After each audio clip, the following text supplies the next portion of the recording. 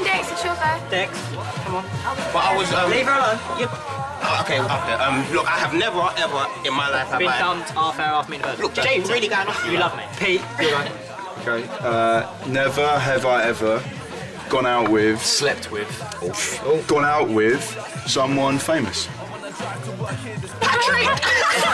Go on, who? Oh, Twice Cafe, 1965. Let's just say that I had more than a frothy cup of coffee that Patrick. Right, um, sure, go. Oh no, I'm not drinking. Well, that's all right. You can still ask a question. Oh, okay, okay. Uh, never have I ever fancied someone in this room. What? If uh, you fancy someone in this room, then you drink.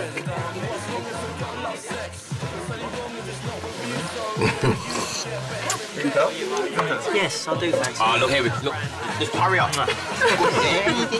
Right, my turn. I have never lied to somebody to get me to bed. Do they all have to be about sex? You see that? No, what? Nothing.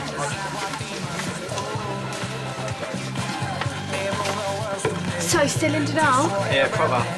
How's Lola? Oh no, she likes him, not that she'll ever admit it. You know I think? If the world was full of more people like me and you, it'd be a better place. Yeah?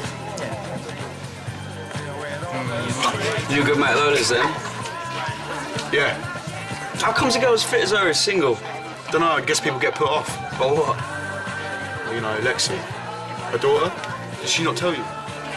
Oh, this stuff is rank. I could make like a chemical vapour of that stuff. You got a kid?